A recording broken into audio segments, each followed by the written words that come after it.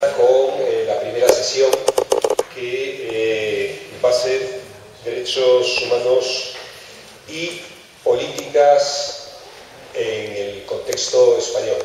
¿Por qué no políticas europeas, que inicialmente estaba previsto? Porque eh, don Mauricio Valiente se nos casa hoy. El ponente está en Rumanía, casándose hoy y ejerciendo el derecho de interculturalidad y entonces la boda por parte de la familia contrayente romana y han ido a Rumanía, con lo cual hoy le era imposible venir, ya nos había avisado hace tiempo y entonces por eso pedimos hacer una mesa redonda y desde la universidad organizamos una mesa redonda que ahora nos van a presentar Rosana eh, de la Asociación de eh, Argentinos y Argentinas aquí, eh, porque lo hemos querido además localizar lo más cercanamente posible, porque luego por la tarde, a la hora de discutir eh, las políticas de migración en el contexto municipal, va a tener mucho que ver con lo que se está haciendo en concreto aquí.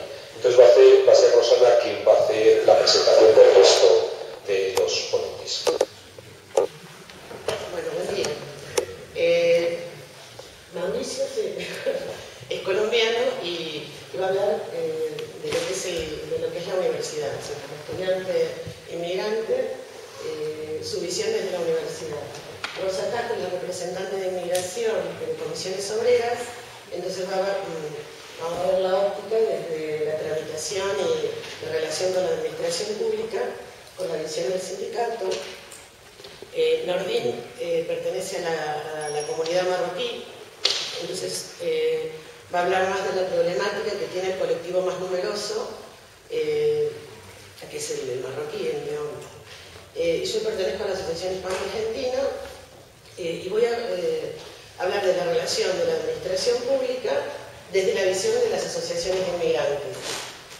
Eh, no- vamos a cambiar la dinámica de lo que se hizo ayer eh, en cuanto a hacer una ponencia y después que se hagan preguntas y no nos molesta que en cualquier momento nos, nos pregunten o parar para explicar alguna de las cosas. Es más, lo que queremos es que participen un poco más que lo que hicieron ayer.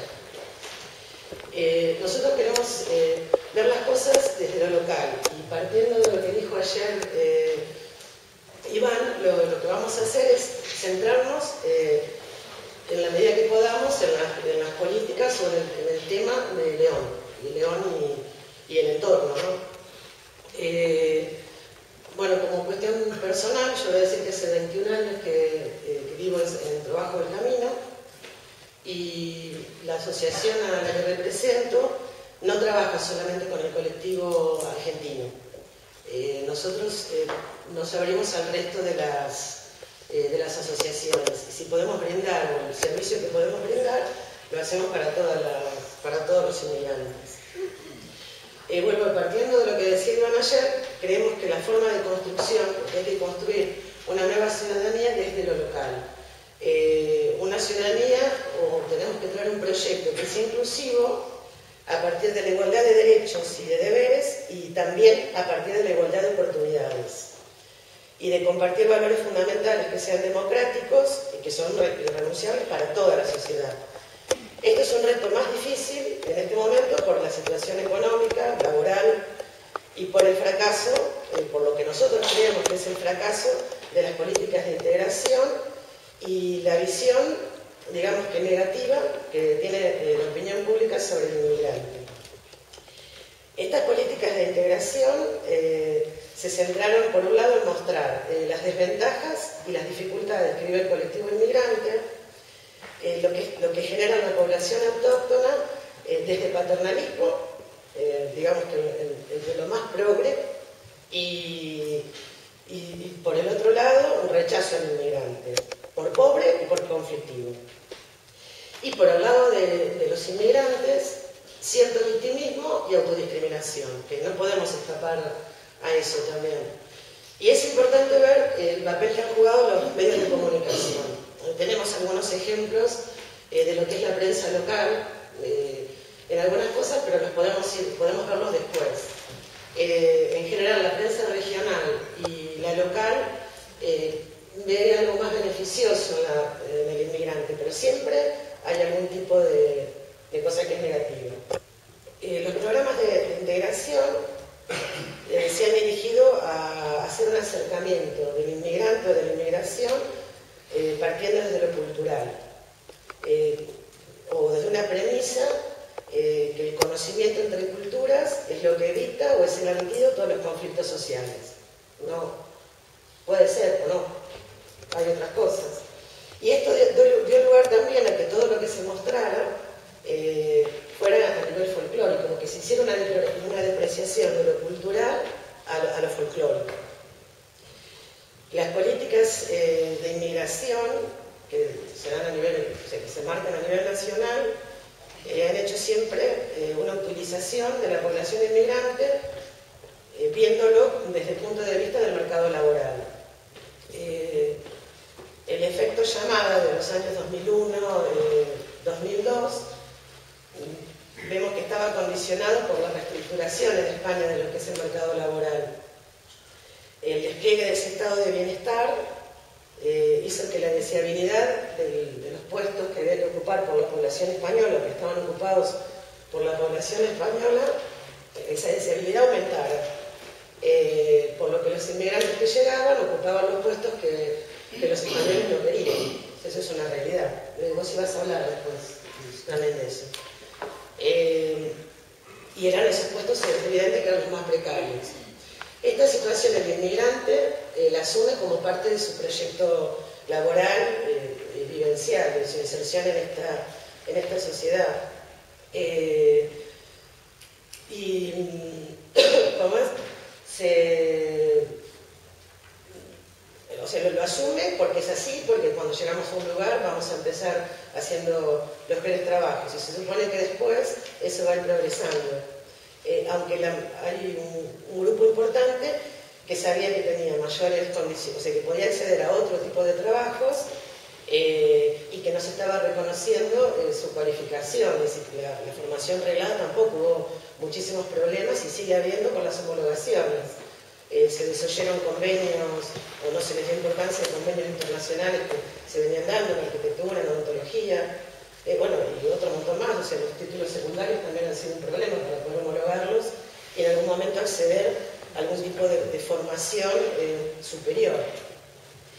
Eh, se han hecho, desde la, política de extranjería, se ha centrado la política, esa que digo que es nacional, se centró fundamentalmente en el control de los flujos y para abastecer de mano de obra barata y regularizada.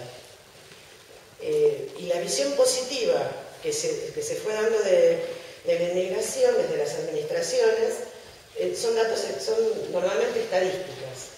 Eh, por ejemplo, el, aumento del número de, las contribuciones, bueno, la contribución a la seguridad social.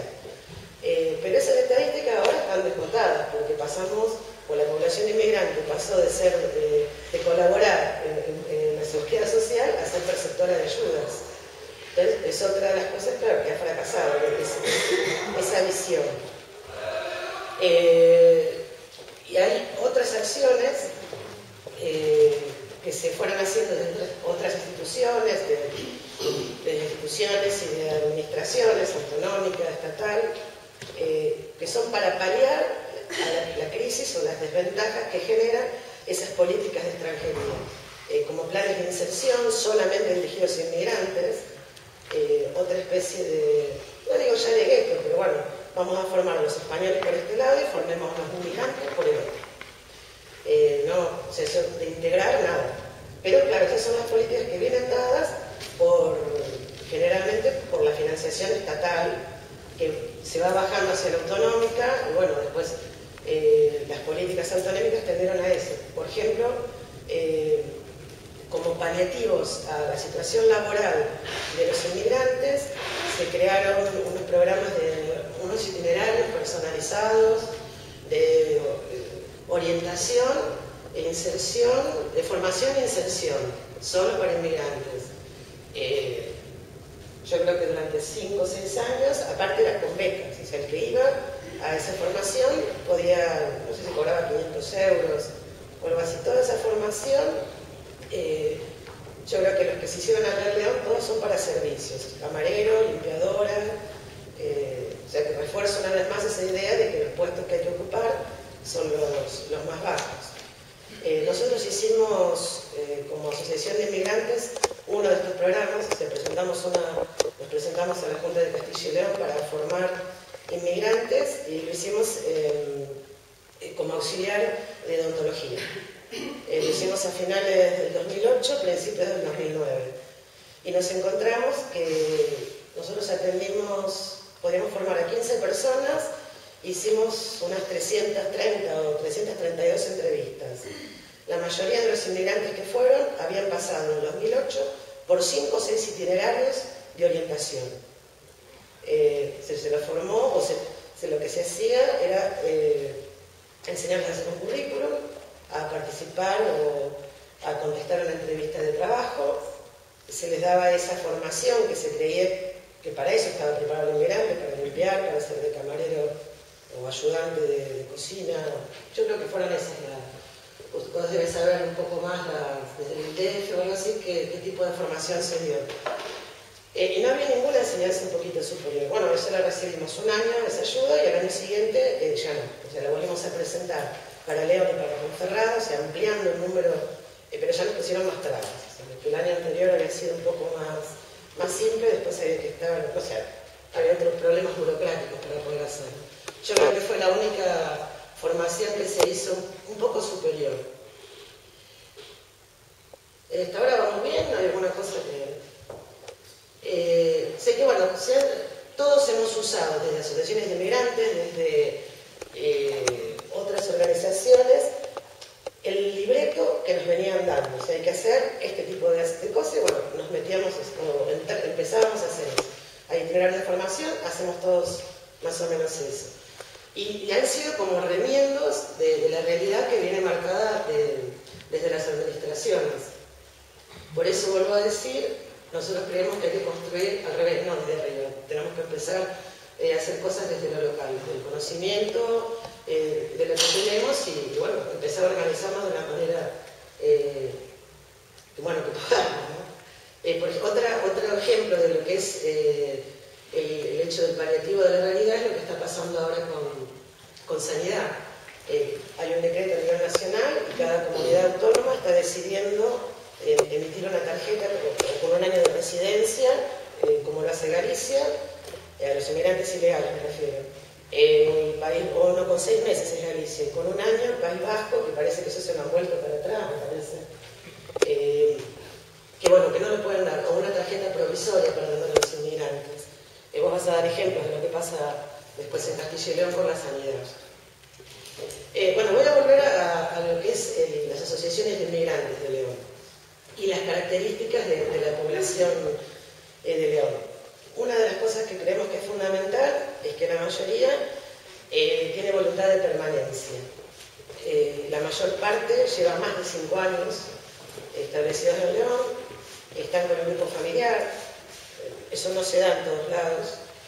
Eh, y hay un número importante, claro, por, los años de, residencia, que ya tiene ciudadanía española. Otros ya vinieron con la ciudadanía española. En el caso de latinoamericanos, bastantes. Eh, la participación de las personas extranjeras que se dan la vida pública, no sé si está solamente circunscrito a, las asociaciones de migrantes, pero no sabemos que haya ninguno que sea dirigente de un equipo de fútbol ni de un partido político, bueno, que esté dirigiendo ninguna otra cosa, o sea que está circunscrito nada más que las asociaciones. Y el tejido asociativo de León es bastante nuevo, eh, solamente se, se hicieron dos asociaciones en 1998, otras dos más hasta el 2005, cinco más entre el 2006 y 2009, y entre 2010 y 2012, 13. O sea, hay 23 asociaciones de inmigrantes, algunas, a lo mejor hay más registradas, pero que más o menos están funcionando o pueden funcionar, pueden ser 23. Eh, nosotros hablábamos el otro día que creemos que hay muchas que son ficticias aquí en, otros lugares también, eh, no por la cantidad de gente que tenga, sino que no las vemos, no, aparecen en ningún lugar, aparecen para determinadas cosas nada más. Es hay dos marroquíes o tres y dos argentinos, además son todas de distinta nacionalidad o de, de, diferente, origen. Eh, es un movimiento asociativo que es heterogéneo en lo ideológico, en lo metodológico, eh, en lo organizativo también, y aunque hay diferencias en los objetivos, la mayoría se, fueron creadas para, por la necesidad de agruparse, eh, manteniendo presente la, cultura del país de origen, eh, para brindar información, asesoramiento y, para integrar el colectivo, eso es lo fundamental. Algunas asociaciones también tienen en su estatuto y desarrollan eh, actividades de formación, eh, deportivas, de codesarrollo y de defensa de los derechos humanos. ayer Iván hablaba de la importancia del codesarrollo. yo creo que a partir del año 2002 o 2003, a través de todo el tercer sector, se habló mucho de codesarrollo en Castilla y León nunca hubo una acción directa de desarrollo, no hay ninguna convocatoria, eh, no puntúa el hecho de que desarrollemos eso, entonces eh, sí aparece el codesarrollo en el plan Greco, que después veo que es y, eh, en políticas estatales, pero a Castilla y León nunca, dentro de la comunidad autónoma, nunca hubo ninguna iniciativa, a pesar de que hay asociaciones que sí trabajan en eso. Las asociaciones como ventaja tenemos eh, sobre otras organizaciones que trabajan con inmigrantes eh, que conocemos en forma directa la problemática del inmigrante. O sea, no tenemos que recurrir a una estadística, hacer un trabajo de un año para decir qué es lo que necesitamos. Rápidamente conocemos cuál es el problema y podemos responder o podríamos responder a las demandas sociales específicas. Otra ventaja que podemos tener es que estamos acostumbrados, eh, casi que desde, que nacimos, a trabajar o hacer cosas en condiciones de permanente inestabilidad. Eh, eso es una ventaja como persona, como colectivo. Eh, hay un montón de cosas que no nos asustan. Estamos acostumbrados a, hacer, a trabajar con pocos medios, imaginación, estirar recursos, ser creativos. Eh, somos entidades poco jerarquizadas. Eh, en el último tiempo eh, se nota una mejora en la preparación técnica de, algunas asociaciones. se han desarrollado algunos programas que tienen objetivos más precisos y, se, ha mejorado la gestión. esto de la gestión también tiene, algunos hemos participado en otras asociaciones, en, otras comunidades, en, en algunas actividades formativas, eh, y le hemos pedido al ayuntamiento, eso ha sido una demanda por parte de las asociaciones, eh, que se hicieran cursos de formación. Y a través del ayuntamiento eh, se hicieron dos cursos de gestión de asociaciones. y eso ha sido positivo, la gente tiene una idea de que hay que preparar proyectos, de que no es que voy a hablar con alguien y le digo, no, porque quiero hacer tal cosa y me van a dar el dinero, sino que tengo que prepararme eh, eso ha sido una cosa importante en relación a, la administración. Y el modelo de, cohesión o de trabajo que nosotros eh, se fue utilizando en casi todas las asociaciones eh, es lo que fuimos aprendiendo en, esas, en ese tipo de formación que recibimos en España. y el modelo es, digamos que se, maneja entre frentes, uno que es vertical, la, relación que tenemos con las administraciones y nosotros tenemos que decir que también con las asociaciones que trabajan con inmigrantes. En muchos casos mm, la relación no ha sido fácil. Después con el tiempo, la relación con las asociaciones que trabajan con inmigrantes, con Caritas, con ASEM, eh, con, qué sé yo, Isadora Duncan, con, con todas las que conocemos. Al principio no ha sido fácil y después a través del conocimiento y de una relación por lo general personal, esa, relación fue mejorando. Pero tenemos que ponerla igual dentro del escalafón, no como iguales, eh, sino como, como vertical. El frente horizontal es la relación entre nosotros, entre las asociaciones de inmigrantes. Eh, esto de la visión que nosotros tenemos, lo que decía recién, de la gente que trabaja con la inmigración, de los técnicos que trabajan con la inmigración, eh, en un curso de formación que, hicimos hace dos años, eh, lo tratamos, cómo vemos nosotros a la gente, a los técnicos que trabajan para la inmigración en León. Y la verdad que se los veía como lejanos, no, se los veía, en esto lo hicimos en el 2010. Eh, hizo una dinámica de grupo para ver en qué situación ubicábamos, por ejemplo, la CENDO. Y, bueno, fue muy, muy manifiesto, ellos se asombraron de que nos viéramos tan lejanos. Eh, por eso eh, tenemos que ponerlo no dentro del grupo de gente que trabaja como, como, compañeros de trabajo. Eh, entonces, bueno, otra es la horizontal, la relación entre las asociaciones, que ahora voy a extender en eso, y otra es en, profundidad, que es el espacio que generamos dentro, o que se ha generado dentro de nuestra comunidad. Nosotros con los argentinos, ellos con los marroquíes, los colombianos con los colombianos, y creemos que ese es uno de los, de los errores que, hemos cometido, lo que se ha cometido desde la mayoría de las asociaciones, trabajar solo para el colectivo. Eh, hacemos las comidas, nos juntamos en el local o en el lugar que sea para comer la comida típica, no, mirar, no, no, no vemos que se hayan abierto muchas asociaciones hacia, la, hacia el resto de la comunidad. Y como siempre decimos que esto es de, dos lados, entonces a lo mejor tendremos que haber profundizado en eso, nos tendremos que haber dado cuenta de eso. Eh, cuando veíamos el modelo de, de gestionarnos, tenemos que haber hecho hincapié eh, en el abrimiento. Vuelvo a decir, que nosotros somos la única asociación que eh, entre sus fines no pone trabajar para el propio colectivo. y, hemos recibido, claro, ha sido muy positivo el, hacer cosas para todos.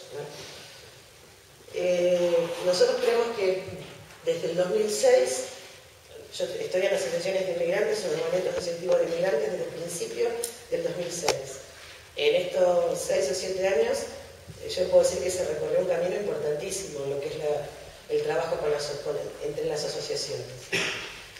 Eh, todos creemos que, mm, que, es importante el hecho de, o tomamos conciencia de, del espíritu, de, espíritu, tenemos conciencia del espíritu de movimiento, eh, creemos que es ágil y eficaz trabajar todos juntos, sobre todo para todo lo que tenga que ver con reivindicaciones comunes. Pero no creemos que sea lo que nos preguntan siempre, eh, no creemos que sea positivo hacer una federación. O sea, vamos a seguir con ese modelo de cerrarnos los inmigrantes, es un grupo más grande. Eh, un grupo más grande de inmigrantes que va a dirigir la cosa dos o tres, no sabemos qué grado de participación puede haber por otro lado. Y nos hemos encontrado, eh, sobre todo en los últimos años, eh, con que desde la, Junta de Castilla y León, desde Valladolid, como para progresar en esta formación de, de asociacionismo de inmigrantes, se nos proponía formar una federación. Eh, nosotros creemos que no es el camino.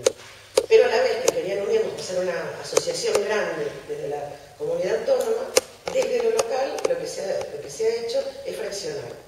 O sea, dejar que se hiciera, de que cada vez hubieran más asociaciones, sin preguntarles. Es muy fácil armar una asociación. Van tres personas, como un club de lo que sea, ciclista, van tres personas, el presidente, el vicepresidente, el secretario, uno de los tres se puede poner tesorero y se arma. Pero, y si encima le damos la posibilidad, las mismas asociaciones o cualquiera de las administraciones, que tenemos un modelo de estatuto, un modelo de acta fundacional, lo hago rapidísimo. Pero habría que frenar un poco ese de para qué lo querés hacer, cuál es el objetivo, qué sentido tiene. Se podría haber visto otra forma de, organización.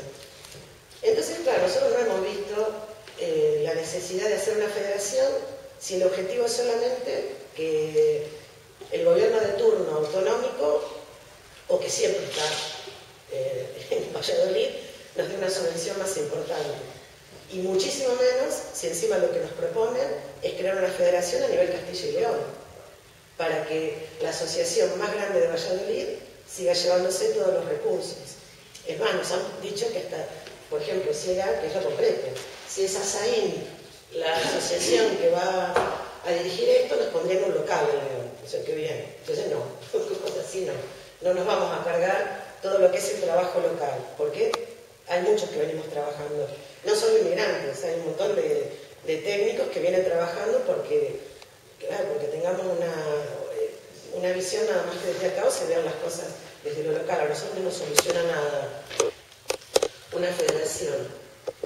Eh, eso lo contesto a pesar de que nadie preguntó porque la mayoría de las veces nos preguntan eso, ¿por qué, no, ¿por qué hay 23? ¿Por qué no, hacemos algo entre todos? Eh, y claro, uno está en el medio nos dividimos, hacemos cosas. Entonces creemos que lo mejor es juntarnos para eh, un tema específico, o para programas específicos. Y en ese camino es en el que estamos desde hace eh, tres años más o menos. siguiendo con lo que es el trabajo, bueno, nosotros creemos que desde las administraciones públicas no, nunca se tuvo un apoyo hacia el fortalecimiento de las asociaciones. Un trabajo hacia el inmigrante sí, pero para el fortalecimiento de la asociación eh, no. Se salvo esos programas de gestión eh, de asociaciones, no, otra cosa no. en la práctica, eh, nosotros nos sentimos como activistas, digamos.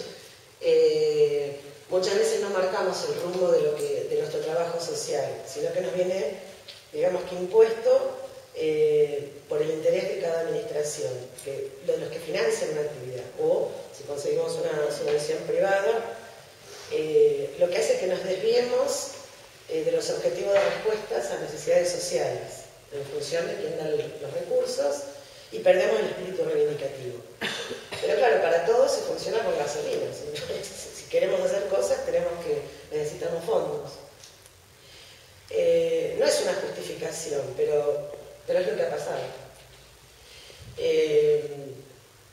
hacemos muchas de lo que la administración quiere, y no lo que creemos que tenemos que hacer respondiendo a una necesidad concreta, eso es lo que pasa. Y durante todos estos años hemos estado participando en calidad de público, eh, usuario de actividades de ayuntamientos eh, y de otras organizaciones. Eso nos generó eh, un desgaste importante.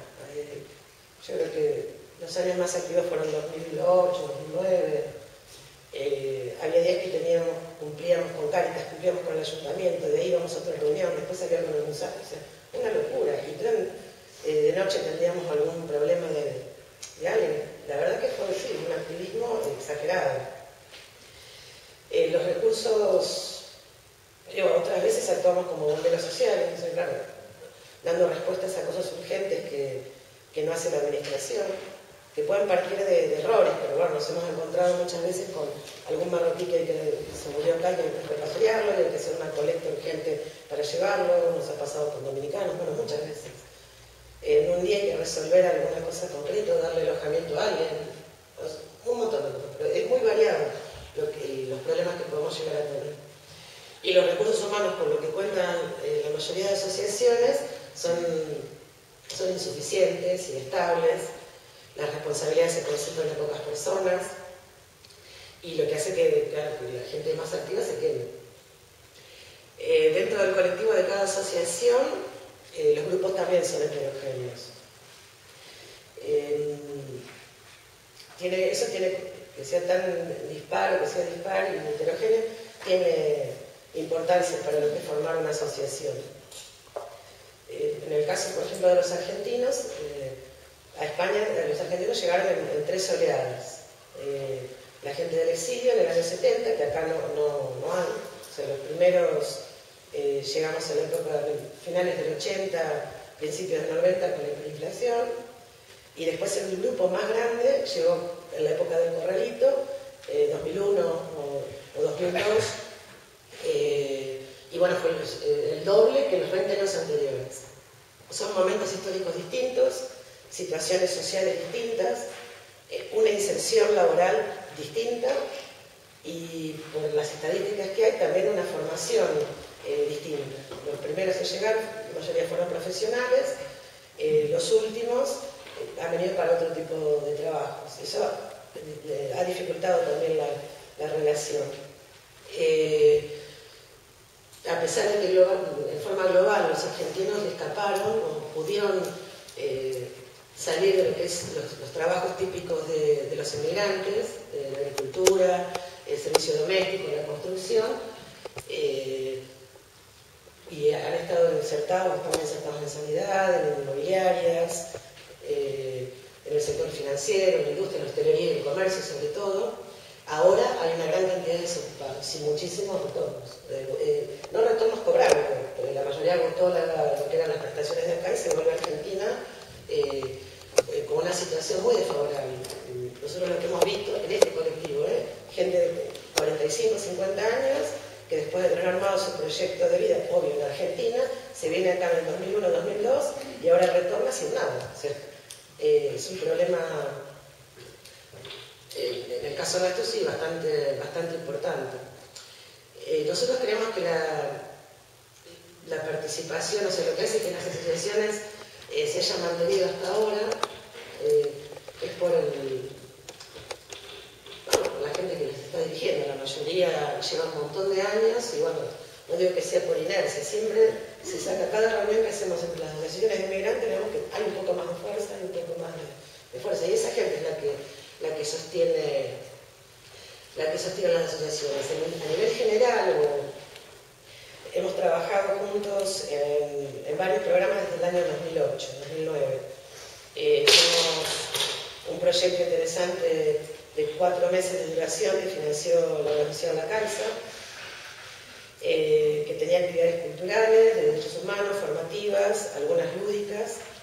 Eh, eso hizo que nos conociéramos y empezáramos a trabajar, o sea, que viéramos la capacidad que tenían cada uno. Algunos eh, podemos servir para hacer un proyecto, pero otros han estado haciendo otras cosas que sí eran muy importantes a nivel deportivo. Bueno, fue bueno, la, experiencia fue muy positiva.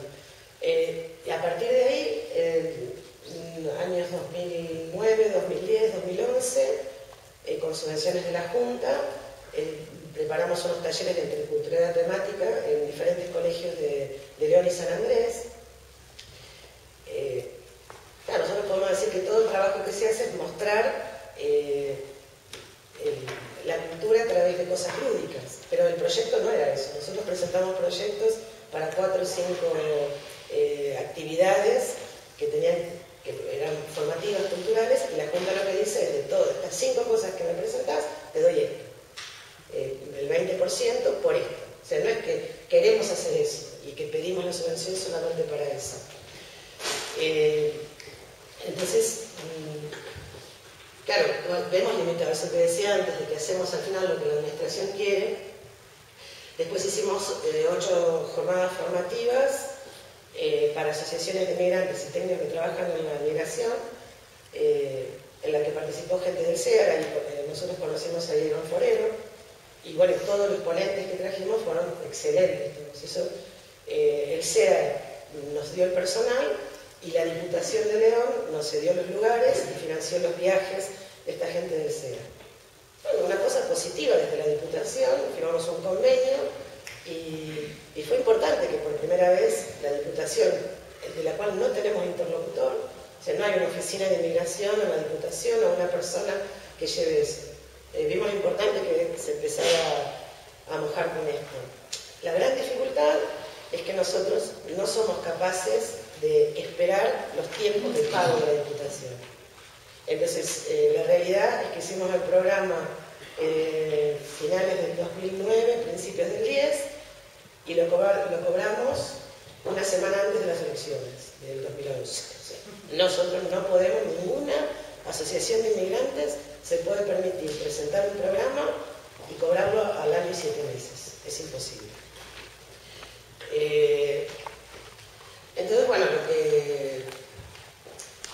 otra de las cosas eh, que no, bueno, hice alguna autocrítica de lo que es el trabajo de, asociaciones, pero también hubo un montón de cosas que, desde, hay, que, resaltar.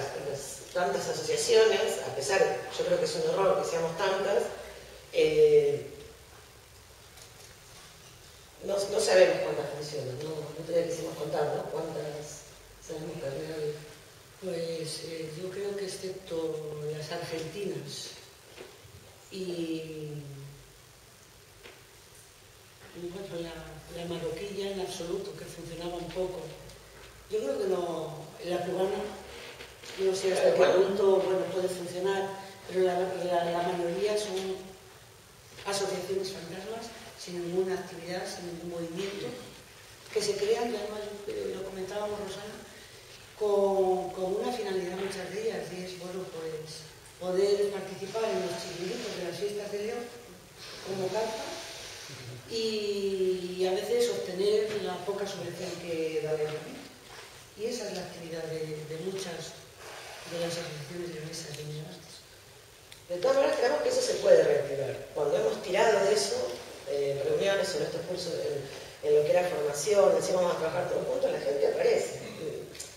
Claro, tenemos que ver cómo motivamos en esta situación para, para que esto vuelva, vuelva a pasar. No nos interesa eh, trabajar, o sea, el objetivo de esto y de que estemos acá, eh, no nos interesa trabajar solo en las condiciones de inmigrantes, eso no tendría ningún sentido en esta situación. Eh, la idea es crear ese concepto de ciudadanía en el que podamos participar todos, ¿no? Eh, ahora, volver a reunirnos para hacer solamente asociaciones de inmigrantes. Y por otro lado, como se ha fomentado en lo local, no sé si, aunque sea la fiesta, separemos asociaciones de vecinos por un lado y como nosotros no somos vecinos, los inmigrantes para el otro. O sea que la integración cero. Eh, después, eh, ah, lo que dice es que hemos contribuido a las asociaciones en general en, su momento, ¿no? bueno, en su momento, todas no se puede negar que todas han contribuido como mediadores en lo que es el entorno escolar, en el comunitario, eh, en, integrar a los que recién llegaban. esto que se da ahora es una situación particular, pero también eh, es una situación de, ante la crisis, lo que hemos visto acá con otras organizaciones sociales también, es bloqueo. Acá nadie mueve nada, este año no hubo ninguna cosa, nadie llamó para nada, eh, no volvieron a ver ni, antes nos invitaban a charlas de la mujer, a cosas, ahora este año ni, de inmigración, ni ninguna cosa, o sea, hay un parate en todo, hay un bloqueo, y de ese bloqueo nadie sale. Es lógico que las asociaciones de inmigrantes que nunca, han tenido fuerza, que empezaban a ver algo, claro que ahora no hagan nada, pues es totalmente normal. No sé qué es lo que hacen las demás organizaciones, no, no se ve. Eh, vamos a retomar la distribución de las competencias en inmigración. Eh, el Estado tiene competencia a través de la ley de extranjería y de otras cosas en nacionalidad, inmigración, inmigración, extranjería, en concesión de, de revisión de permisos de trabajo el reglamento familiar, eh, el supuesto derecho al asilo, que aún no existe, digamos. Y, pero las comunidades autónomas tienen competencia en materia de salud, vivienda, educación, a través de, eso es una competencia que tienen a través de sus propios estatutos de autonomía.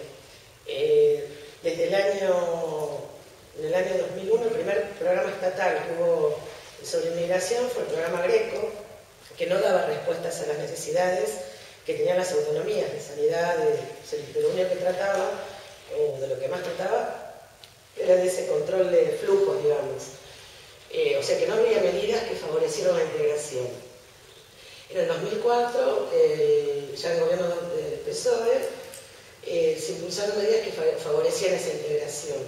Y esto se ve después en los planes estratégicos de ciudadanía e integración. En teoría, uno lo lee y dice, la verdad que esto es, da gusto estar en España, que se haga todo esto, se cumpla, pero después vamos a ver todo lo que es la práctica. Y una de las cosas muy positivas es que está orientado hacia toda la población, hacia la ciudadanía en general. Eh, no es que, que separa al inmigrante. En, la, Castilla y León, la comunidad autónoma, eh, tiene un plan de integración, un plan integral de, de integración, integral de inmigración, y se está elaborando, yo creo que todavía no salió, nosotros tuvimos una reunión en marzo, me parece, donde presentaron por primera vez, digamos, las autoridades de la, comunidad autónoma tuvieron una reunión con asociaciones de inmigrantes, en marzo del 2012. Eh, vinieron ellos a, León y ahí presentaron un plan de, eh, un anteproyecto de ley de integración de los inmigrantes, también muy teórico, ¿no? Estuvimos leyendo algunas de las, de las hojas y sí, en teoría sí, pero tampoco dice quién va, cómo van a garantizar esas cosas o esos planes que se supone que, se tienen en la comunidad.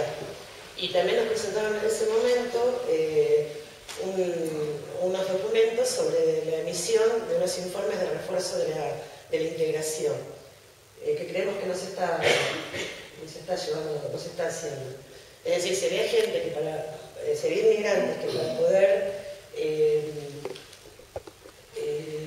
reagrupar, sí, renovar los documentos le faltaba tiempo, tiene que tener tres años de haberla aportado. Le falta tiempo para aportar, emitiendo desde algunas asociaciones que dieran formación un, un, certificado, digamos, de ser un buen ciudadano y estar adaptado a las costumbres de Castilla y León.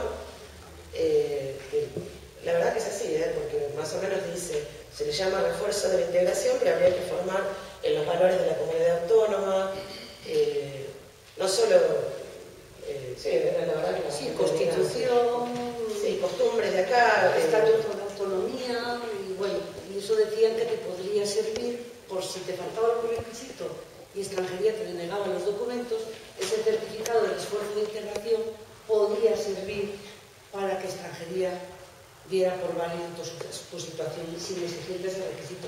Pero claro, lo dejaba a criterio de las secciones de extranjería de cada provincia. O sea, que también era un poco simpático. Le hacían hacer ese, ese esfuerzo, que llamaban ellos, esfuerzo de integración, y luego no sabía si extranjería la aceptarían. Pues por eso, mucha, seguimos con toda la, teoría.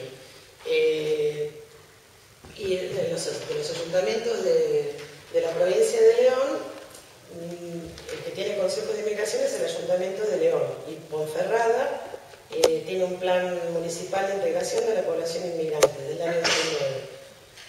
Pero bueno, por ejemplo, en el caso de las asociaciones de inmigrantes, eh, no sé si funciona ahora, pero en el 2009 se un en el Toralín para que se reunieran y creo que el movimiento asociativo de esa zona eh, funciona.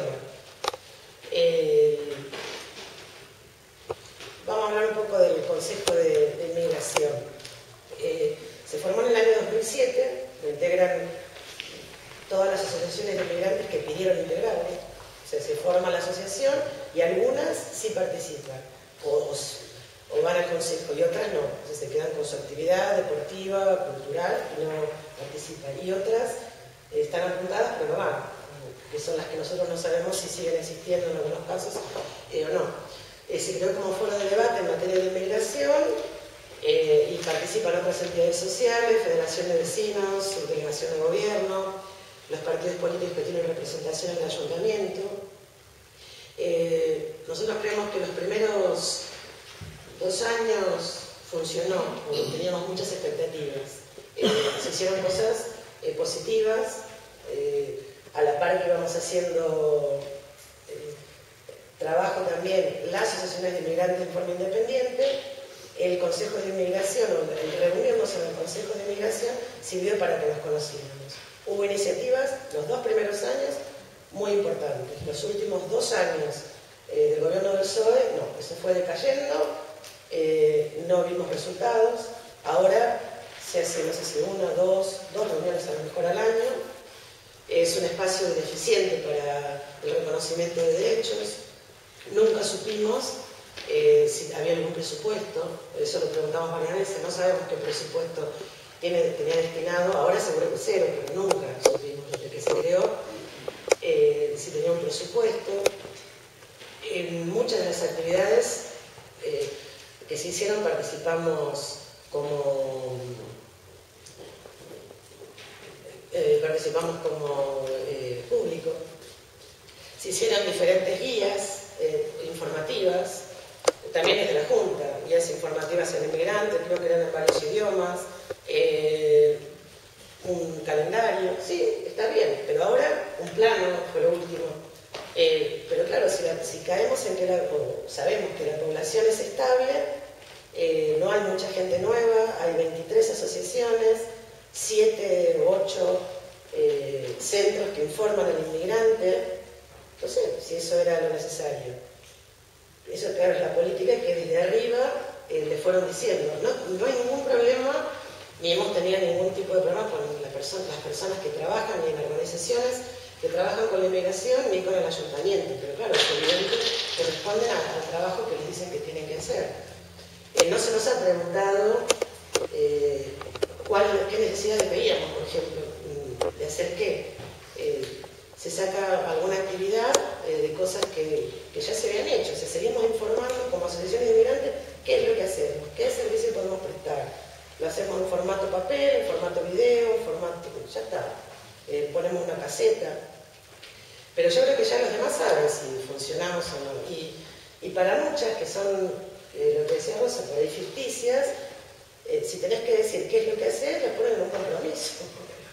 ¿Sí que hacemos? después hay una convocatoria, yo me acuerdo de las últimas, una convocatoria que hace el ayuntamiento, 2009, 2010, 2011, que siempre es de 10.000 euros para todas las asociaciones de inmigrantes. En esas no participan las asociaciones que trabajan con inmigrantes, solo eh, asociaciones sin fines de lucro para inmigrantes. Eh, este año, en el 2012, no se publicó. Eh, tampoco vimos que hubiera mucha transparencia en eso. Por ejemplo, te dicen que te van a dar o salen 10.000 euros para todos y en el 2008 se repartieron 8.000, en el 2011 2.000 y el último año eh, no sabemos, porque por ejemplo nosotros somos de los que más dinero nos dan, pero viene la, nosotros nos dan 1.100 euros, que lo cobraremos algún día, ¿no? Pero no dice a quién, a quién más se le da. Entonces no sabemos si se reparte los 10.000 o no. Por eso decimos no hay falta de transparencia, a pesar de que hay un Consejo de Inmigración y que se supone que ahí eh, se tendría que saber. En otras convocatorias, eh, los técnicos que han participado esas cosas saben que hay una puntuación, se le da a este tanto porque hace esto, eh, se le da a este otro tanto porque hizo tal cosa, y estos otros quedaron afuera porque el proyecto que presentaron no era mejor que otros. En este caso, claro, la comunicación viene, se adopta la siguiente resolución de darle a las siguientes asociaciones y aparecerá nuestra sola, y se le dio a más. por otro lado, claro, sabemos que los proyectos que se presentan bueno, no son buenos, no, pueden, no pueden serlo, cuando en realidad la actividad, en el caso este, teníamos que haberlo hecho en 2011 hasta diciembre y todavía no lo cobramos, o sea que no podríamos hacer la actividad. Volvemos a lo mismo que pasa con la Diputación. Eh, no se adelanta el dinero, entonces no podemos saber qué actividad vamos a presentar si no sabemos cuándo, y aparte no tenemos recursos, por lo general las asociaciones de inmigrantes, eh, algunos tienen socios, eh, con cuota. Nosotros, por ejemplo, no. Nosotros no le cobramos cuota a los socios porque, como el espíritu fue atender a todo el mundo, entonces, ¿para qué queremos, eh, no sé qué sentido tiene cobrar una cuota si vamos a darle el mismo servicio, el que podamos, de forma voluntaria, a todos, a cualquier, a cualquier inmigrante, ¿no? y desde la Junta de Castilla y León, bueno, hemos tenido nada más que esa reunión y después la relación no es directa de, ninguna manera. Acá no hay, en, eh, no hay eh, en, la delegación de León una oficina que lleve la parte de inmigración. Y no creo que sea porque está transferido eso al ayuntamiento o que sea una competencia que tiene que llevar el ayuntamiento, porque en otras comunidades eh, sí se da, en Ávila, en Segovia, por ejemplo, sí hay una oficina, una persona o alguien que atiende al inmigrante. Como también desde la Junta, por ejemplo, no solo ha pasado con, con la inmigración el hecho de darle, eh, a ver, esto mismo que decía Iván, privatizar ciertas cosas, en el caso de las asociaciones de inmigrantes o con las migraciones, también se da que eh, la Junta de Castilla y León lo que ha propiciado es que, por ejemplo, los retornados, que nosotros también los atendemos en León, eh, los atiende una asociación de Palencia. Entonces, si tenemos algún problema, el que está informado es Palencia para atender un retorno tengo que recurrir a qué me cuenta esa persona. Y si quisiera eh, acceder a información, es todo a través de ellos. Eso es lo mismo que quisieron hacer a través de inmigración con en Valladolid o a través de cooperación al desarrollo con Burgos. O sea, pongamos, es más fácil tener un interlocutor solo y que lo y que, bueno, que se reúna la persona de la solamente con esa asociación. Eh, desde la Junta de Castilla y León, sí, se han financiado, hay unas subvenciones para asociaciones sin ánimo de lucro y también para entidades locales. Eh, eh, yo tengo acá la documentación, la verdad que es bastante, bueno, molesto me parece, eh, decir que hay una, subvención importante, muy importante, para entidades locales y otra para entidades sin ánimo de lucro. Eh, los montos de, las, subvenciones para entidades locales eh, a lo largo de los últimos, años le fueron recortando 100.000 eh, euros por año. Eso es lo triste. Lo triste es que los ayuntamientos de la comunidad nuestra no se presentan.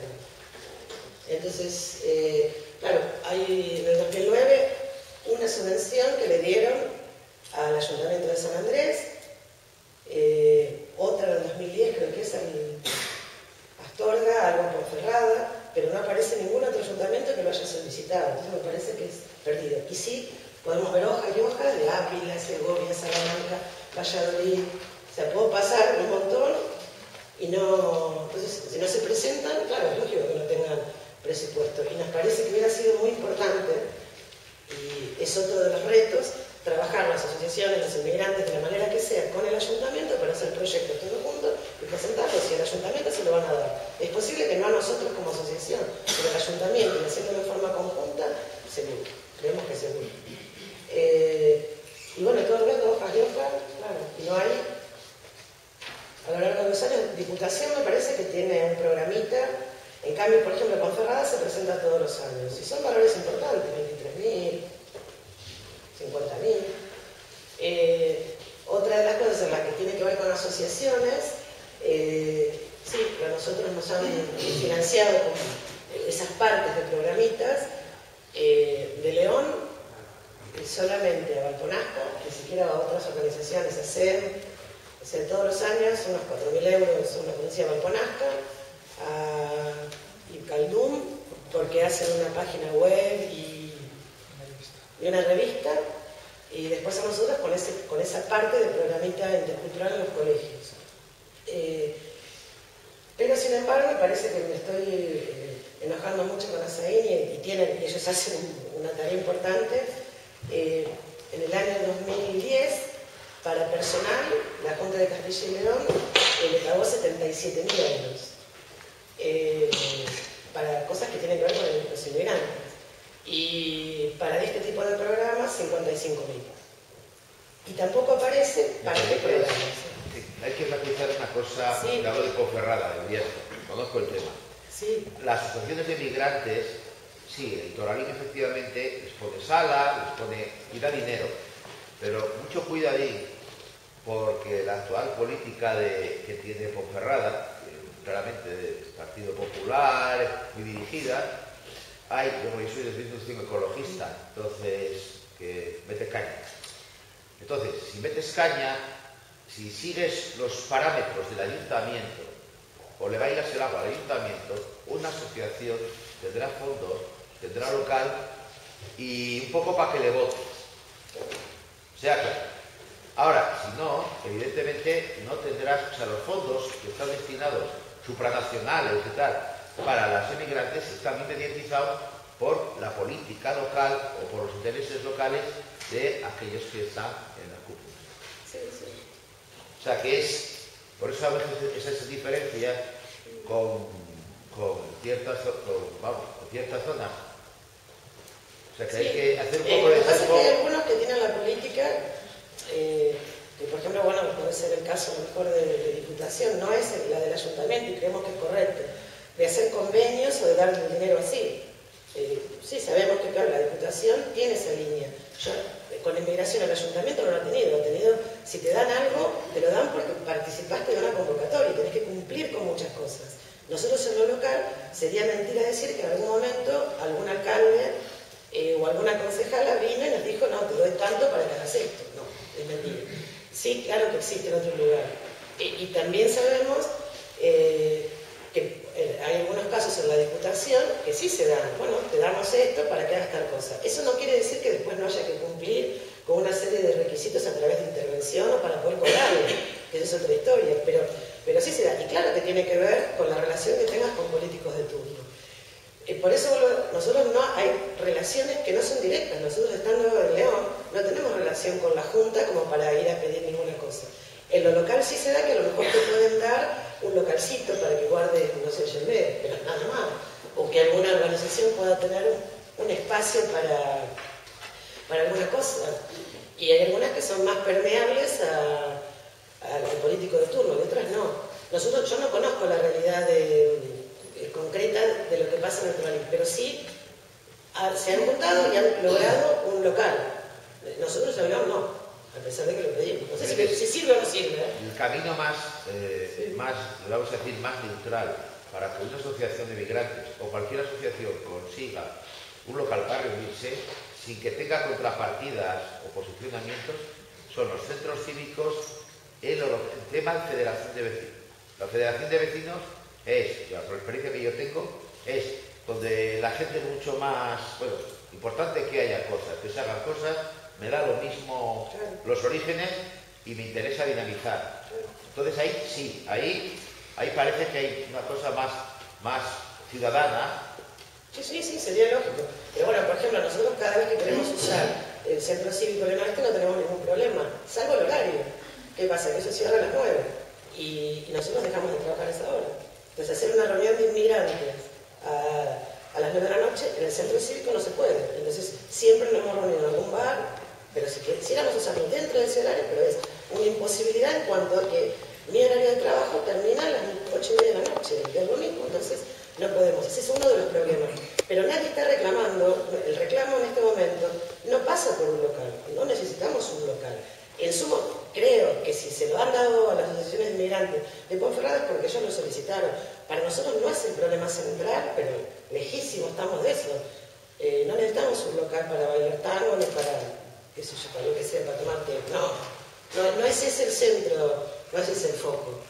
Eh, hubiera sido, a lo mejor hubiera estado bien, a lo mejor no sabemos, pero no lo vimos, esa es la, realidad es esa.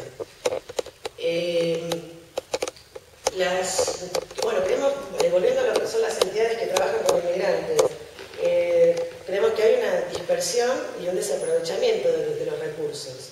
Hay estructuras paralelas, se brinda la misma por ejemplo, en cuanto a información, se brinda la misma eh, ayuntamientos y otras entidades, y hay competencia entre asociaciones, sobre todo por los recursos. Entre los mismos técnicos compiten entre sí de ver quién se puede, bueno, como pasan todos los aspectos, un proyecto u otro.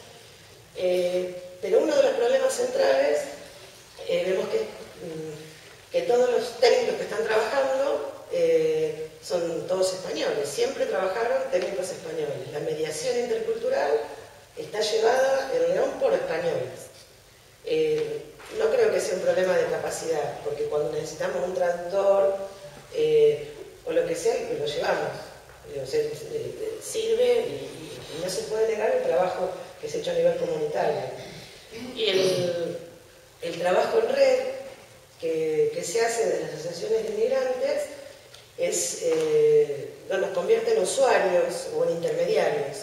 Lo que hacemos es, tenemos un problema, se lo mandamos eh, a alguna de las asociaciones más específicas, no sé, a la SEMA, a Caritas, a Cruz Roja, eh, y nosotros perdemos el contacto con, con, ese inmigrante. Se lo pasamos y ya nunca más eh, retorno. Entonces, es una dificultad, eh, ¿sí? Sí, sí. Y, bueno, y después, el, ya era lo último, hay un grupo de observación eh, de la inmigración a León, que es el GOL, es muy positivo.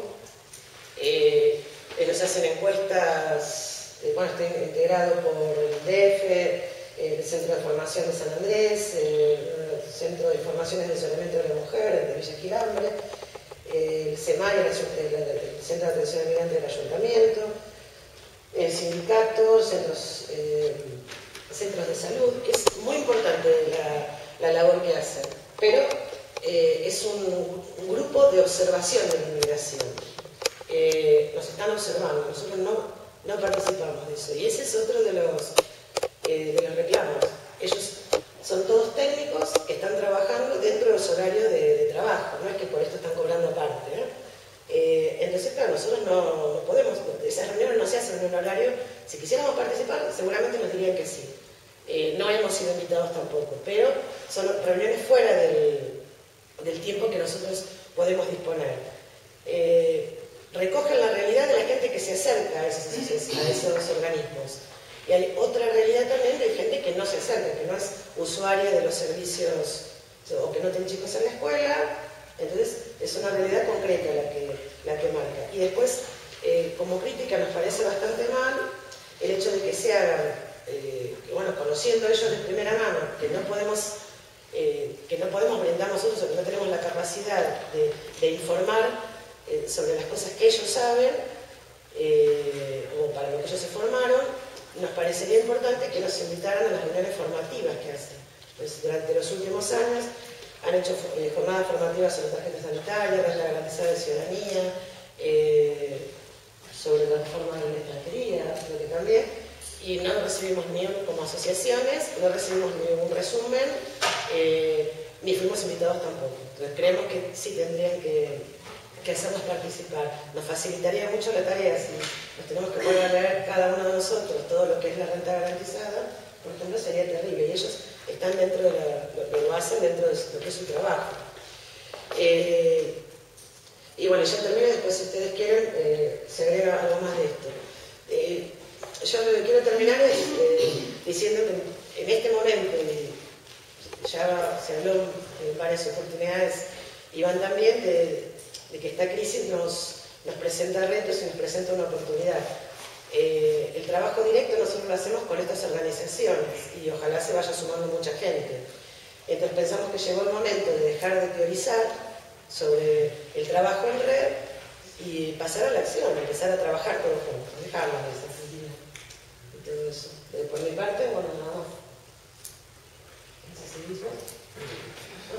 Sí, bien. Me gustaría saber de la situación que usted nos ha descrito sobre los inmigrantes en España, si eso también pasa con aquellos que vienen muy bien preparados. Si esos inmigrantes, por ejemplo, un médico, un ingeniero argentino, o marroquí, o peruano, o chileno, o lo que sea, se está en contacto con ellos. No solamente seamos nosotros, los de dentro, los que ponemos el freno, sino aquellos que vienen con grandes titulaciones y tienen un trabajo muy bueno, ellos están insertos en estos movimientos.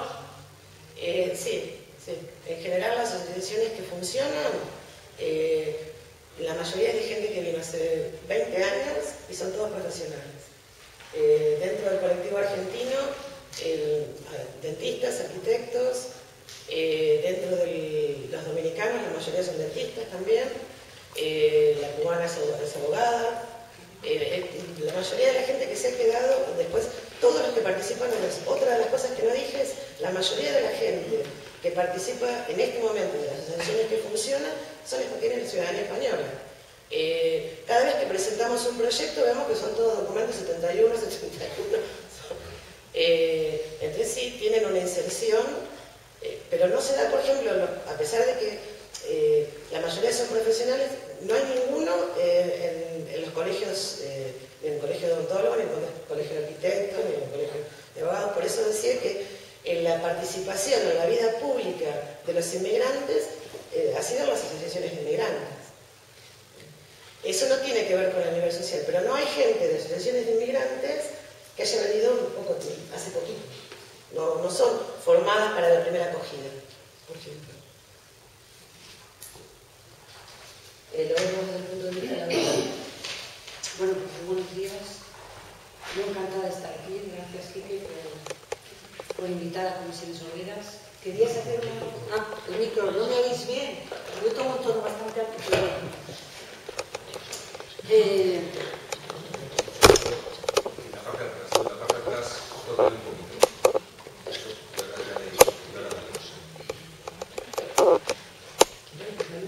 Dale, dale a... ¿Aquí? Ahora, ¿se oye? Bueno, eh, Comisiones Obreras mm, lleva 12 años aproximadamente, trabajando con población inmigrante en León, ya cuando empezaron a venir las primeras personas inmigrantes a nuestra provincia, las comisiones obreras, como es un sindicato sociopolítico, eh, no tenemos que decir que tenemos una gran responsabilidad y obligación con los trabajadores y trabajadoras de este país. Vengan de donde vengan y tengan el color que tengan. Entonces, bueno, cuando empieza a venir la primera gente inmigrante, nos damos cuenta de que las necesidades son muchas, las dudas también, el desconocimiento de nuestro sistema laboral, de nuestro sistema administrativo, y entonces que van a necesitar asesoramiento. ¿no? Entonces Comisiones Obreras empieza a crear los CITES, que son centros de información a extranjeros en todas las provincias de España, no solo en Castilla y León, en todas las provincias de España Comisiones Obreras tiene un centro para trabajadores extranjeros, donde eh, les asesoramos eh, de todas las cuestiones que administrativamente les afectan, renovaciones, agrupaciones, etcétera, etcétera, y donde les proporcionamos con independencia de que estén o no afiliados, eso no nos importa. Todo el asesoramiento laboral y la orientación que precisan. Me encanta además que el público sea mayoritariamente joven, porque yo me imagino que tendréis una idea de la inmigración muy estereotipada, que es lo que oímos de nuestro entorno. Vienen a quitarnos el trabajo, vienen a chupar todas las subvenciones sociales, son delincuentes. Seguro que lo hemos oído, vamos, yo estoy harta de oírlo. ¿eh? Entonces, bueno, yo lo que pretendo con mi intervención, que voy a ajustar en el tiempo para que Norbín y Mauricio tengan su espacio, es desmontar eso. No sé si habéis visto este último mes en el diario de León, eh, Cruz Roja está haciendo una campaña de sensibilización y viene esta viñeta, que como no la sois capaces de leerla, la voy a leer yo. ¿Eh? La viñeta es una trabajadora inmigrante, en este caso de color, y el empleador, el jefe. Claro, yo me imagino que la trabajadora le haya dicho al jefe, oiga, usted que me voy, que ya se acabó mi jornada laboral. Y le dice el jefe, ¿cómo que ya, cómo que ya has hecho 12 horas y que te vas para casa? Trabajadora extracomunitaria quiere decir que la comunidad hace uso extra de su trabajo. Así que a ver si vaya, va usted aprendiendo español. Esta es la realidad. Trabajadores extracomunitarios pues son los que no pertenecen a la Unión Europea y en este caso, en la provincia de León, social y laboralmente son los más perjudicados. Las condiciones laborales de las personas inmigrantes, en algunos casos, rozan la esclavitud o la semi-esclavitud. Están viviendo ahora mismo con este crack económico, social y laboral al que nos han llevado los gobiernos de nuestro país, están viviendo situaciones durísimas, como el resto de los españoles y de las españolas. Porque la situación nos está afectando a todos por igual. Pero los inmigrantes, las personas inmigrantes, tienen una, una dificultad añadida, es la administrativa. Y si no trabajan, no pueden renovar sus papeles. Y ese es el problema, que no hay trabajo. Como no hay trabajo, se quedan irregulares. Personas que llevan tres, cuatro años en nuestro país y que ahora mismo han perdido toda su documentación porque no pueden demostrar ante extranjería que están cotizando a la seguridad social. Ese es el gran problema. Aparte del que nos está afectando a todos con esta situación, el administrativo que nos está hundiendo. Y que además no se van, ¿eh? se quedan aquí irregulares y trabajando como pueden en la economía sumergida. Mirad, eh, cuando cae Aquí en la provincia de León, los, hombres inmigrantes trabajaban fundamentalmente en la construcción. Cuando cae eh, la construcción, ahora no hay trabajo para nadie, pues bueno, masivamente se quedan desempleados. Y ahora las que mayoritariamente trabajan son las mujeres. Las mujeres inmigrantes trabajan de empleadas de hogar. Dicen que nos vienen a quitar el trabajo. Yo diría, cuántas personas de las que estamos aquí trabajaríamos de interna cuidando a una o a dos personas dependientes las 24 horas del día, porque son personas que necesitan cuidados de atención también por la noche y hay que prestárselos, con muchísimas dificultades para tener un día de descanso a la semana, con muchísimas, pues sabéis que hay una ley que entró en vigor el 1 de enero del 2012, la ley que regula el trabajo de de las trabajadoras y trabajadores del hogar y dice que tienen que tener 36 horas continuadas a la semana de descanso. Pues ni eso, hay que luchar muchísimo para que eso lo puedan conseguir. Bueno, pues estas mujeres, digo mujeres, porque todas son mujeres las que trabajan de empleadas de hogar, algunas tienen salarios de 400 euros al mes. Si alguien quiere ese tipo de trabajo, comisiones obreras podemos buscar un empleador un empleador en esas condiciones. Es lo más habitual que se trabaje por el salario mínimo interprofesional, que son 641, 641 euros. ¿eh?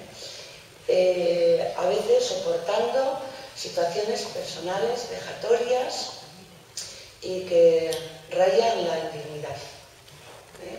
Porque el trato a veces de las empleadoras o los empleadores hacia estas mujeres inmigrantes no es nada respetuoso. Ese es un sector en el que trabajan ahora las mujeres inmigrantes. Los hombres que trabajaban en la construcción, parados todos. Los que trabajan en el sector servicios, que es en la hostelería, hay también bastante gente que trabaja en la hostelería, tienen um, mayoritariamente contratos a tiempo parcial, pero la jornada laboral suele ser de 8, 10 o 12 horas. Y su contrato es a tiempo parcial. No protestes, no digas nada, porque te mandamos a la calle y necesitas el trabajo para renovar sus papeles. Es el gran problema.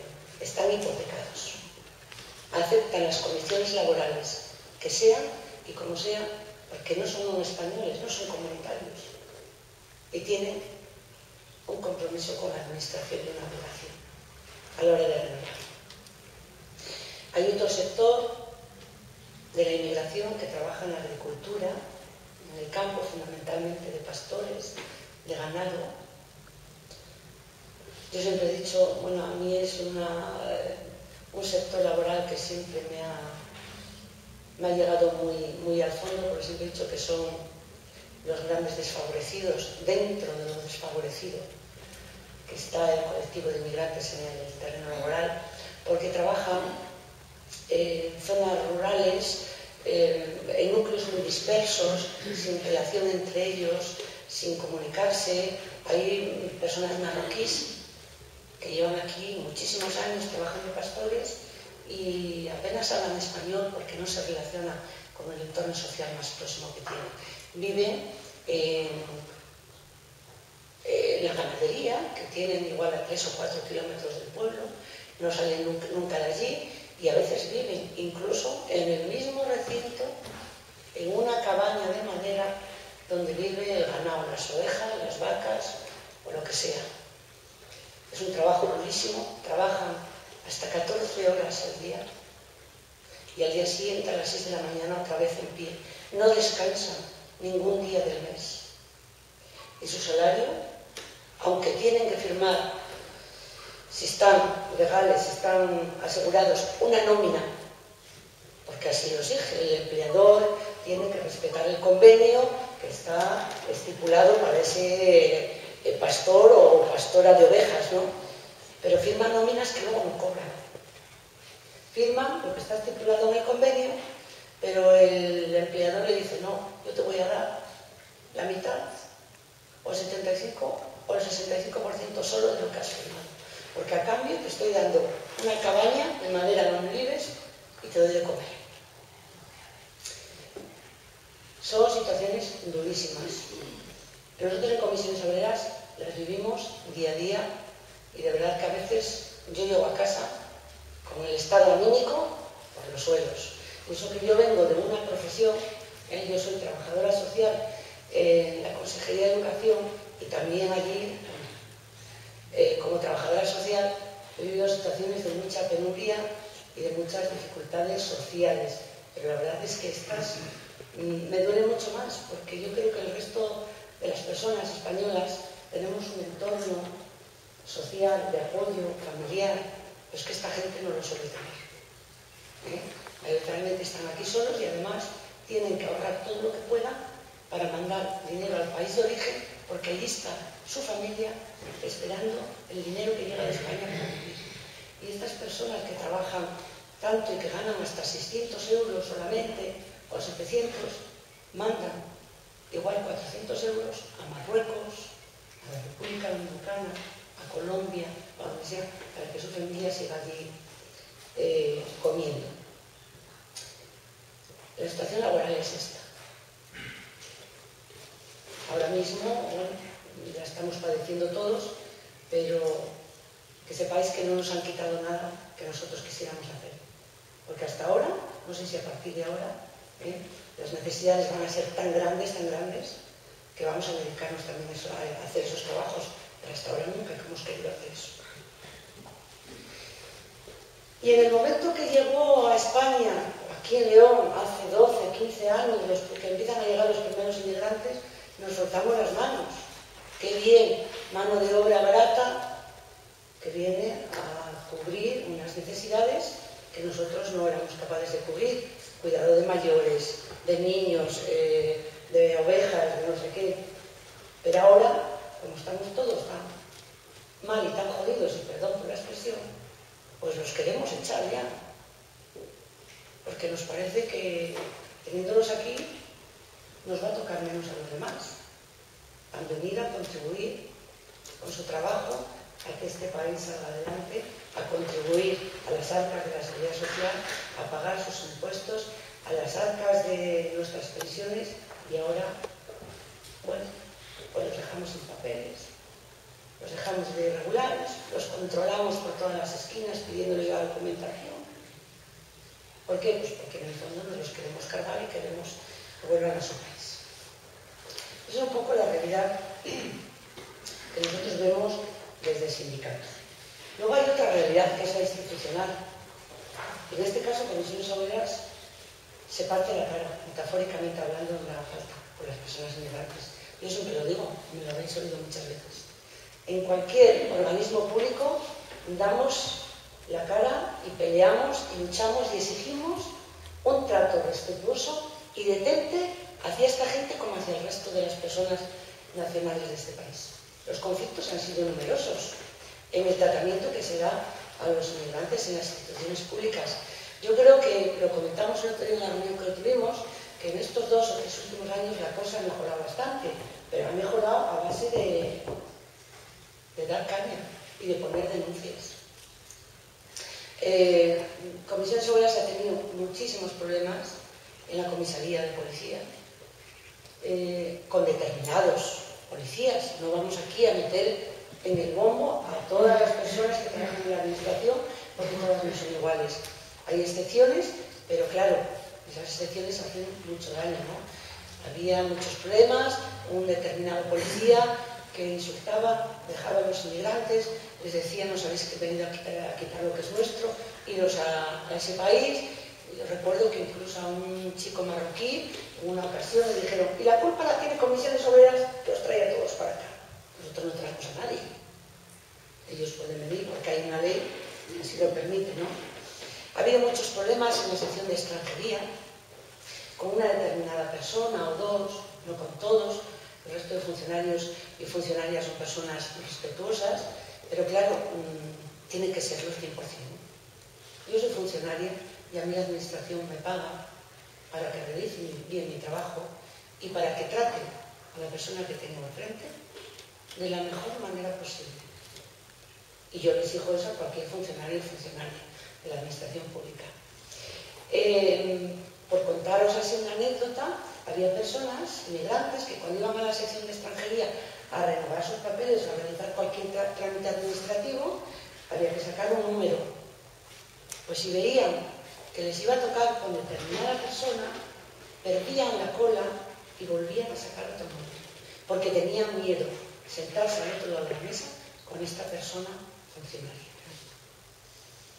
Ha habido muchas luchas, comisiones obreras, yo creo que las personas inmigrantes de esta provincia lo saben, ha estado siempre en esas luchas, exigiendo respeto y derechos a toda la ciudadanía y en esa línea, en esa línea estamos en esa línea vamos a seguir.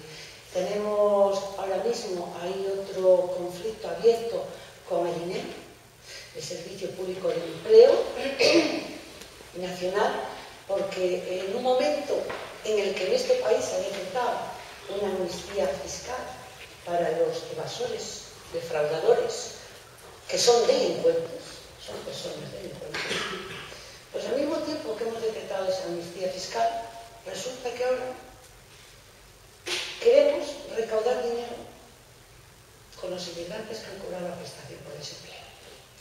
¿Y cómo lo vamos a hacer?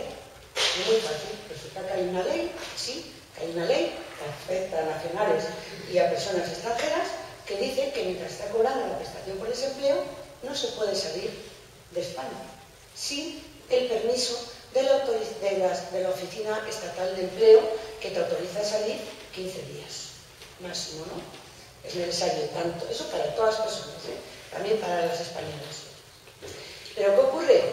Que las personas inmigrantes mmm, generalmente conocen poco nuestras leyes o, nuestro, nuestra estructura institucional o nuestro sistema administrativo, lo conocen un poco. Entonces yo creo que es responsabilidad de la administración pública asegurarse de que la persona que tienes al otro lado mmm, ha entendido lo que le has dicho y recibe el mensaje. ¿eh? En este caso, pues a los inmigrantes que iban a tramitar la prestación por desempleo, nunca nadie, y yo me lo creo, yo me lo creo, nunca nadie les decía, usted no puede salir de España, no se vaya de vacaciones a su país sin la autorización del servicio eh, estatal de empleo, porque si no le vamos a quitar el desempleo. Yo lo que hacía era, en la misma carpetita de todo el dossier del desempleo, le metía un folleto. En ese folleto era donde decía que no se podía salir de España porque entonces perdían el desempleo. Hay personas que no saben leer, que no saben interpretar el escrito en castellano y hay que decírselo oralmente y asegurarse de que lo han entendido. Pues, ¿qué ha empezado a ocurrir? Pues en este año, a primeros del 2012, empezaron a llegar a comisiones obreras personas inmigrantes que habían cobrado el desempleo y a las, que se les reclama hasta uno 12.000 euros de la prestación que cobró por desempleo. ¿Qué pasó? Que como aquí sí se trabaja en red, la administración pública trabaja toda la red, saben cuándo un inmigrante sale de España, porque cuando va a renovar le exigen una copia completa del pasaporte. Completa. Y del pasaporte nuevo y del antiguo. Entonces ahí pillado. Ahí ven, hombre, fulanito salió de España en esta fecha. Tiqui, tiqui, tiqui. Estaba cobrando la prestación por desempleo. Papelito al canto. Pero no es que le quiten, bueno, si usted salió en el mes de agosto, le vamos a, penalizar quitando el desempleo del mes de agosto. No, no. Es que si usted salió en el mes de agosto del 2011 y estaba empezando a cobrar la prestación y ha cobrado un año y medio de prestación y nosotros nos hemos enterado ahora de que ha salido, nos va a tener que devolver el año y medio de prestación. Gente, personas que no tienen ahora mismo para nada, para nada, ni para comer, ni para calentarse, ni para comprar materiales para sus hijos y hijas, ni para pagar la renta.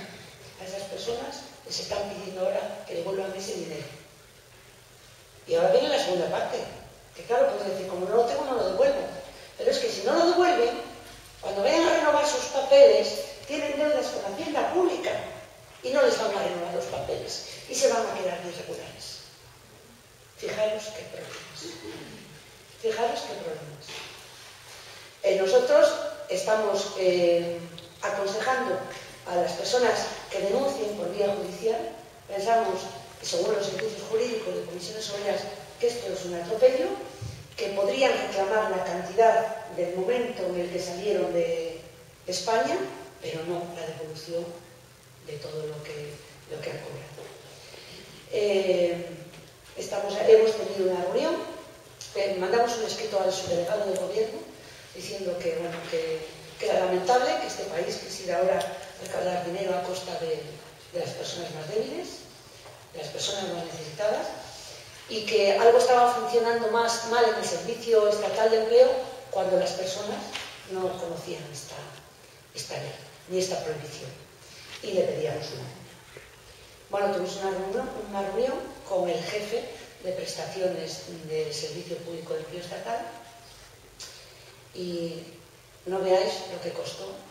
Yo creo que salimos de aquella reunión, eh, todavía nos queda esta reunión en julio, por comprobar si siguen funcionando de la misma manera, pero salimos de aquella reunión con la sensación de que no había servido para nada.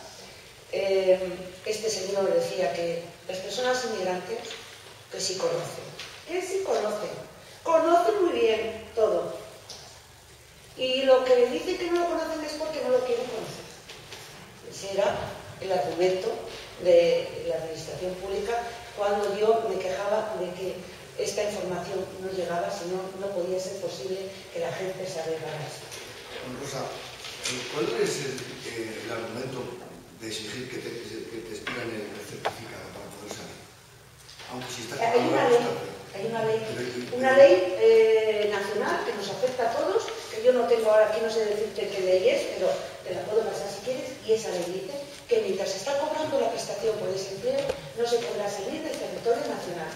Sin el permiso, sin el permiso del Servicio Público de Empleo se te autoriza la salida y con máximo que la autoriza por 15 días, a no ser que haya, mm, por ejemplo, excepciones, o puede ser, puede ser que haya una excepción tengas una urgencia, que imagínate que estás aquí de inmigrante y, tu, un familiar próximo tuyo, tu padre o tu madre, tiene un accidente grave o fallece y eso es, es un sábado y tú tienes que salir y no puedes recabar ese permiso porque esa oficina está cerrada. Si traes ese certificado de defunción, todo eso, cuando vuelvas, bueno, eso se te admite, ¿no? Y, aunque porque no has podido, no has tenido, ha sido una emergencia. Una urgencia has tenido que salir. Pero si no, No acabo de... de, de pues esa es la ley que tenemos. Y la ley dice eso, pero también para ti, para mí, ¿eh? Eso te estoy... sí, no También acabo. para ti, para mí. Tienes todos los españoles, Eso es es general para todos. Sí, sí, para todos. Es una ley para todo el territorio nacional. Y afecta a todas las personas que viven aquí. Pero eso a veces, eh, yo no sé cómo funcionará, pero yo fui de la enseñanza y em, trabajé en Ponferrada y como tenemos bastantes eh, también hay muchas posturas de cómo te reciben ellos a ti como profesora. O sea, tenido gente marroquí maravillosa, portuguesa maravillosa y no he tenido ningún problema y a lo mejor con los iberoparlantes sí que he tenido alguna. Pero bueno, eso ya es problema. Siempre se hacían las tutorías. Como las, siempre En las tutorías. En las tutorías. en las tutorías en mi centro. Nos preocupábamos muchísimo por eso, lo, lo mismo que dar refuerzos en lengua, y, y, no, creo que eso de que no se enteran los padres o que no se enteran bien, e incluso pasa con los estudiantes españoles, venían las becas, ponías un anuncio más grande, claro, si llega a ser un chiquito de estos guapos seguro que se entera. Después venían las a la tutoría y te decían, ¿cómo no ha informado usted a mi hija que tiene derecho a beca? Pues mire, es que lo he hecho y tiene ahí todo un...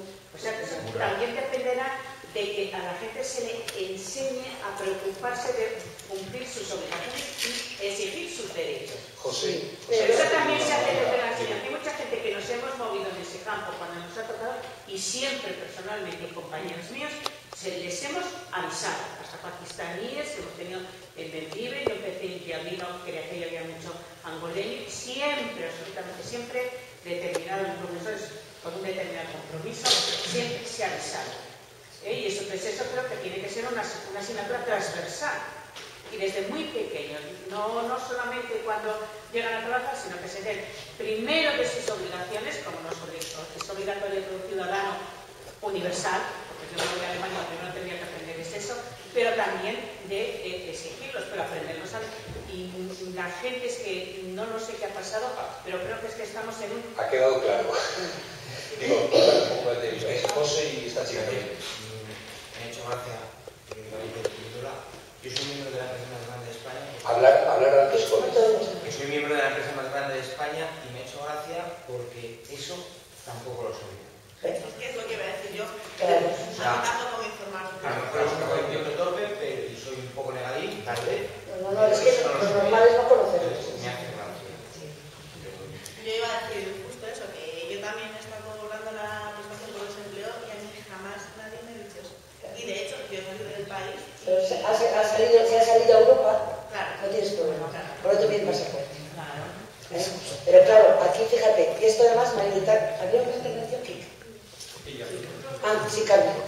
Eh, bueno, yo la ley la conozco un poco porque la tuve que usar, yo tuve que salir por más de 15 días del país. Es para los españoles, para los extranjeros, para todo el que esté con demandante de empleo y con, con un cobro de masa. Eh, bueno, que es una ley para todos. El tema es el siguiente. Por los 15 días no hay ningún problema. Por más de 15 días, teóricamente tendría que haber el control en el aeropuerto. En el aeropuerto en este momento el control es normal de cualquier viajero que va para cualquier país.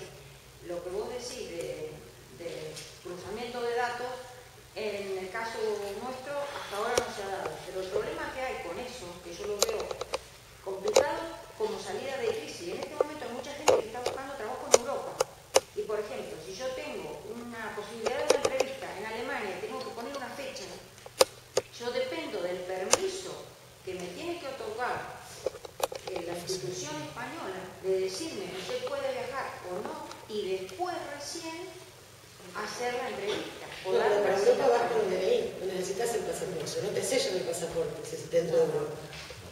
¿Cómo? Que para salir a Europa salís con el DNI, no necesitas el pasaporte, el sello del pasaporte. No podría salir, pero no te Podrías, pero no te van a Si vos vas a una entrevista, si vos vas a una entrevista y estás más de, un mes, entre que salís, que te dan la autorización, salís y volvés, y en ese interín del, del servicio de empleo te citan por algún motivo que sí, vos no estás presente físicamente, o sea, es una complicación para el que está tratando de buscar trabajo fuera del ámbito que tiene a todos como nos tiene.